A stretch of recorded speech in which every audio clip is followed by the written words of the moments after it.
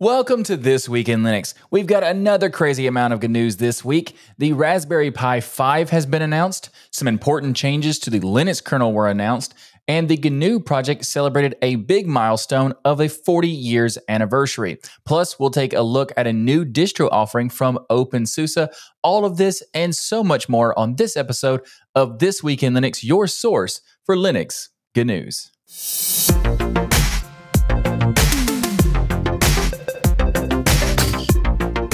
This episode of TWIL is sponsored by Linbit. More on them later. The Raspberry Pi is back, and it has the new model of the Raspberry Pi 5 being announced from the Raspberry Pi Foundation.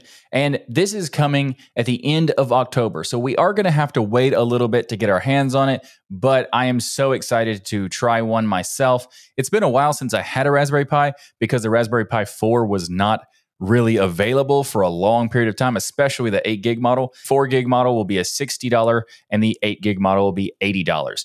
Now, they say that virtually every aspect of the platform has been upgraded, which is kind of crazy because they also go on to say that over twice as fast as the Raspberry Pi 4, which the Raspberry Pi 4 was already impressive and it's been out for many years, but it's all it was still an impressive device. And now that you can have one that's twice as fast, that's that's awesome. And it has a 2.4 gigahertz quad core ARM CPU. It has a new GPU with the VideoCore 7 GPU. It has support for displays of two 4K 60 HDMI displays. That's just awesome for this small device to be able to do that. It has support for Bluetooth 5, Bluetooth Low Energy. It also has high speed micro SD card interface with SDR 104 mode support. It has two USB 3 ports, which you can support simultaneously using five gigabytes of operation through, which is just awesome. And they're gigabits per second, actually. Gigabit Ethernet with power over Ethernet support, and so much more, including the ever desired 40 pin GPIO headers. Those are staying and addition to the new power button, which doesn't seem like a lot, but if you've ever used a Raspberry Pi, the power button is something that you've multiple times well, wish you had and now there is one so that is awesome. Now there's a lot more stuff to talk about with this particular topic but we're going to save that for Destination Linux because we covered this in much more depth in the next episode of Destination Linux. So be sure to subscribe to the Destination Linux podcast. You can go to destinationlinux.net to find out how to do that. And the next, very next episode in like a day or so is going to have that conversation. So be sure to check that out. And in the meantime, you'll find links in the show notes for more about the Raspberry Pi 5. This week at the Open Source Summit in Europe, there were some changes announced to the support model for LTS kernels, long term support, where it will go from six years of support down to just two years. Jonathan Corbet, a Linux kernel developer, made this announcement stating that not many people were using or taking advantage of these six years of support, and the biggest issue is that it's a pain to maintain for six years. Corbet goes on to mention that developers are also burning out while they still have 2,000 programmers for the kernel, which includes about 200 new developers for this latest series of kernels. The maintainers who test all of this code are struggling to keep up with all the various testing needed, included for these kernels, with six years of support. And it makes a lot of sense because the kernel for six years, most people don't even use the two year old kernel, much less the six year old kernel. So sometimes there may be depending on the industry, there may be some differences there, but for the vast majority of people are not going to be affected by this. And even if they are going to be affected a little bit, the distros that they use are more than likely going to cover some changes and maintenance for that as well. So it probably isn't that big of a deal. But if you'd like to learn more, this was just a brief look at the news and my take on it. But there's a lot more to this story. So check out the links in the show notes for more information about that. And also, you'll find a link in there for the next episode of Destination Linux, Destination Linux 341, where we talk about this topic in much more depth. So be sure to check that out. Links in the show notes. This week marked a milestone anniversary for a very important project and movement that arguably inspired, well, the so many great things that came after it. This week, the GNU project celebrated its 40th anniversary. In 1983, the GNU project was announced the goal to create an operating system consisting entirely of free software to allow people to use, understand, adapt, and share software. And thanks to GNU and the FSF, there were a lot of really important things that came from it. The GPL was made to offer a legal structure for developers to open their source code to the world while also ensuring that those who use that source code would be having to provide their own code be licensed with the GPL. This changed a lot for the software world and made it possible for so many projects to thrive. And despite all the controversies around GNU and those who lead it, the impact GNU has had is undeniable for sure. I'm not a fan of the term free software, but the movement to ensure software freedom was a very important one, and I'm thankful that it was done. If you would like to learn more about this and the GNU project, you can find links in the show notes for more. This episode of TWIL is brought to you by Linbit. Linbit has been keeping digital businesses running for over 20 years. They're the makers of open source products like DRBD, which is high availability software that has been part of the Linux kernel since 2010, and LINSTOR, industry leading open source software defined storage. Linbit has an active presence in the open source community as well because they collaborate with the community to help identify and build new features to their products.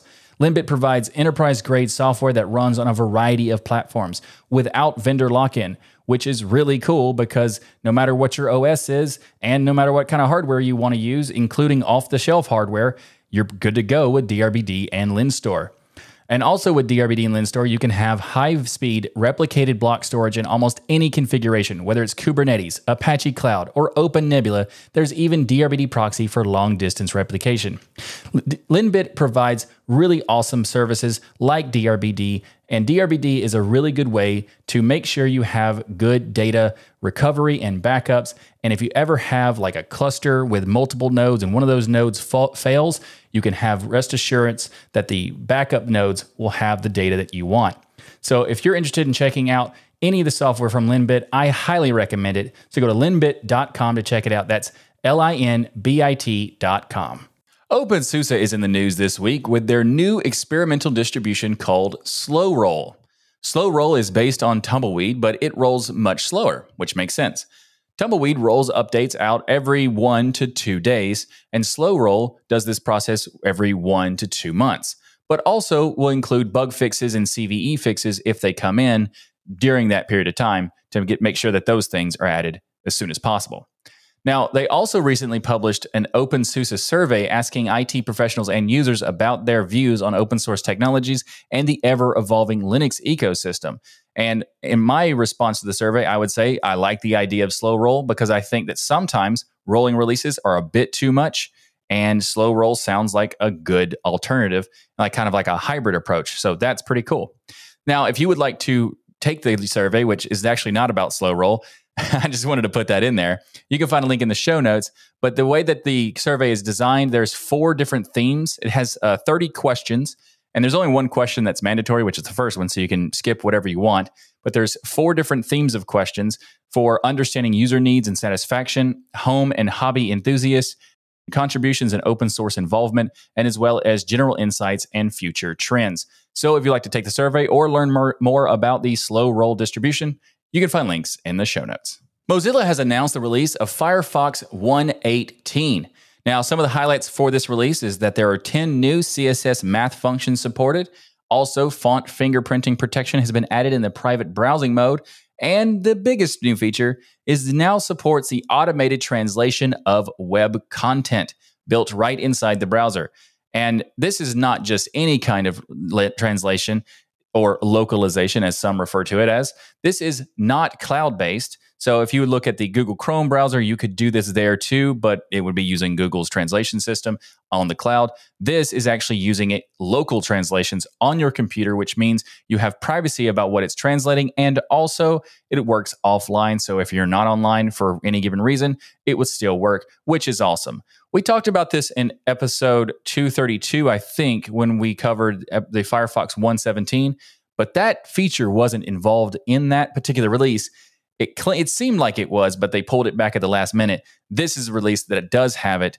And I'm also looking forward to the next release of 119 because there are reports that you'll be able to use some Google Chrome extensions inside of Firefox. And that sounds crazy cool. So be sure to subscribe to This Week in Linux for more information about this topic and so much more.